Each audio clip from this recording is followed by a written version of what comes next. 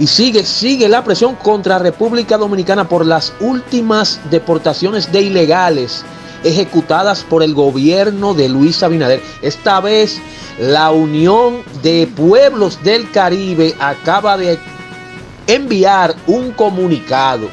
Antes de explicarte cuál es el motivo, te quiero pedir que te suscribas a este canal y le des a la campanita para que te lleguen las notificaciones menos de 24 horas después de que Estados Unidos hiciera una peculiar exhortación a sus ciudadanos que visitan la República Dominicana, una entidad pro-haitiana ha hecho una nueva embestida contra la expulsión de haitianos que se encuentran ilegalmente en este país. Ahora es la denominada Asamblea de los Pueblos del Caribe, capítulo Haití APC Haití, que condenó enérgicamente el trato inhumano que supuestamente reciben los extranjeros durante el proceso de expulsión de República Dominicana.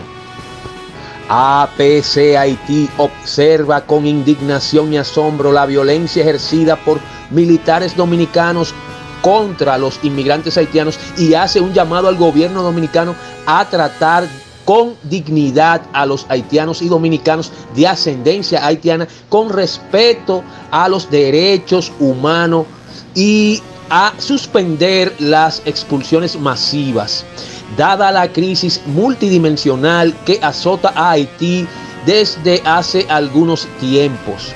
Expresa la entidad en un documento enviado a algunos medios de comunicación digitales y televisivos.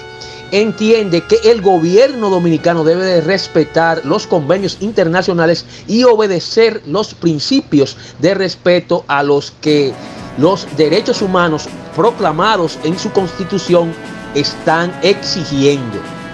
¿Y qué opinas tú sobre este último documento enviado ahora por esta Asamblea de los Pueblos del Caribe, capítulo Haití.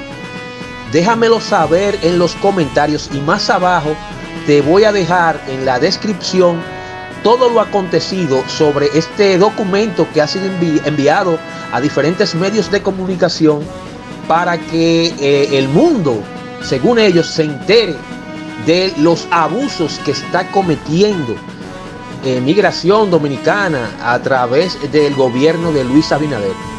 Así que ya sabes, déjame tu comentario.